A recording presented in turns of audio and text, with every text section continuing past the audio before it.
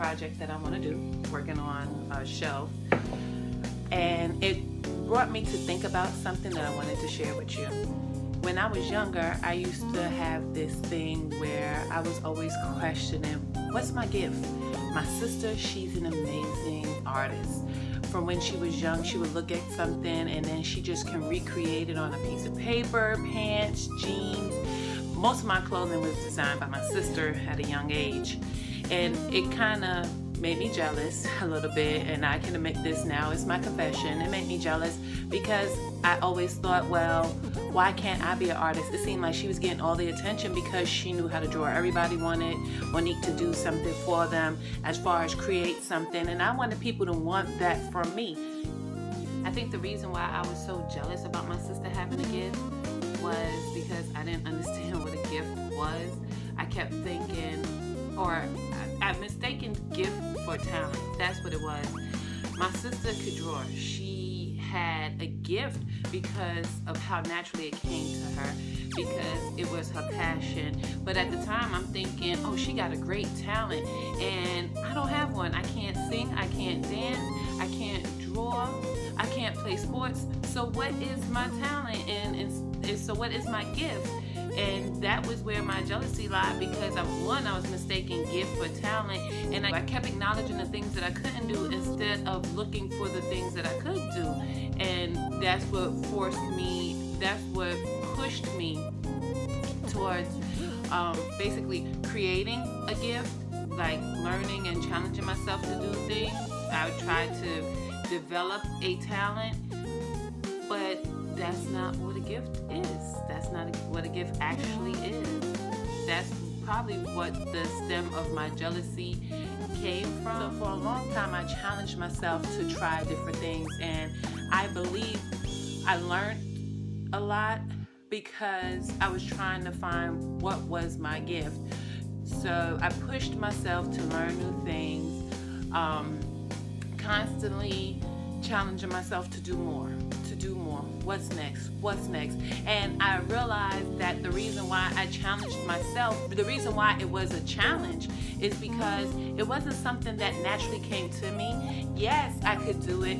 Yes um, i was able to achieve the desired result but it wasn't a passion. It wasn't something that i felt in my heart yes i like doing this. This is what i want to do and this is what i want to share with everyone. I'm great with my hands i wrote books I recreated things like now I'm working on the DIY project and it wasn't things that these are things that I like to do for myself. They're my hobbies. However, are they gifts that I want to share with everyone? No. If anyone asks me, oh, Danette, could you write something for me? I'd be like, probably not. I really don't want to. Or if someone said, uh, Danette, could you build something for me? I'm probably going to think about it for a very long time.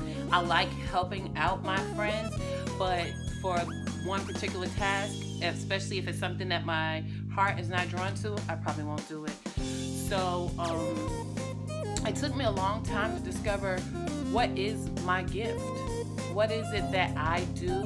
I do it well. I would do it for free if you ask me. And I put my whole heart into it, and it just draws at my heart if I do not do it. And the one thing that I could always think of is giving back.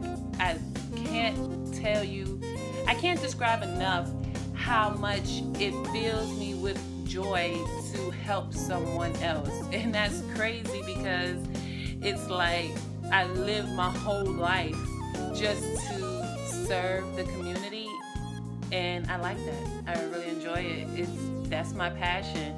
And I guess that's my gift. My gift is to be there for you, my friends, my family, just to be that constant ear, the shoulder, the supporter, and whatever it is that I can do, the little things that I have learned trying to find my gift, I use that to help you.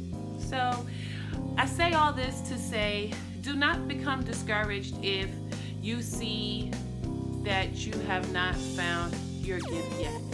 I'm 39 years old, and it took me to today to realize that it's okay. It's a learning process. You're not going to wake up and know right away, this is my gift. This is what I'm going, this is what God has blessed me to do. Um, my sister, yeah, she was born with it. I'm sure she didn't realize it at three or four years old. Wow, I'm a I'm an artist. I can do this. And up to today, she loves to draw. That's her gift. But does she do it as her job? Mm-mm. That's something that she's passionate about. She will do it for free if you asked her, but it's not her job. My job is not serving the community. I'm in security. That's what I like to do. I guess your passion can be something that you want to do as a job or something that you may do as your career. Let me say career, not job. But for me, I, I like to keep it separate. I like my passion to be my what I'm doing for my life and my career to be totally different. And it works for me that way. It kind of gives me an equal balance.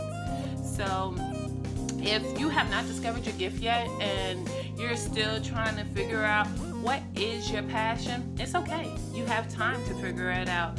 That's what life is about. It's about learning, it's about trial and error, it's about getting to know who you are and not allowing others to pressure you into something they want you to be.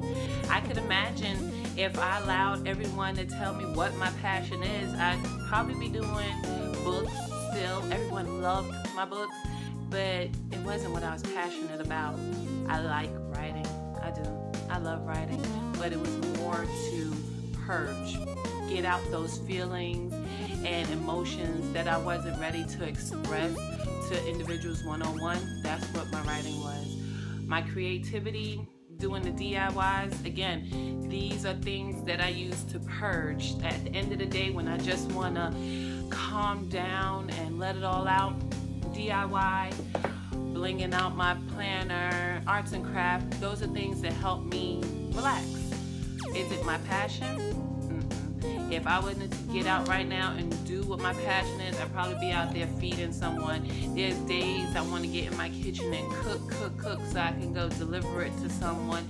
If I could go door to door, and make sure that everyone had heat and blankets, that's my passion. And I didn't know that. How about that? I like to bring the community together also. It's not about just getting into the community and what can I do for the community. I really would like to bring the community back together. That's why my heart is so drawn to our Teen Queen Experience mission um, and all the other things that Our Ladies Club is looking forward to for 2016. Um, like I said, if you are still trying to figure out what your passion is, excuse my phone, if you're still trying to figure out your passion, that's okay. It's going to come to you in God's time. Don't allow anyone to pressure you into someone you're not. I love you. Be blessed. And as always, peace. If you like this video, please give us a big thumbs up and hit the subscribe button so you'll be notified of our next upload. See you then. Bye.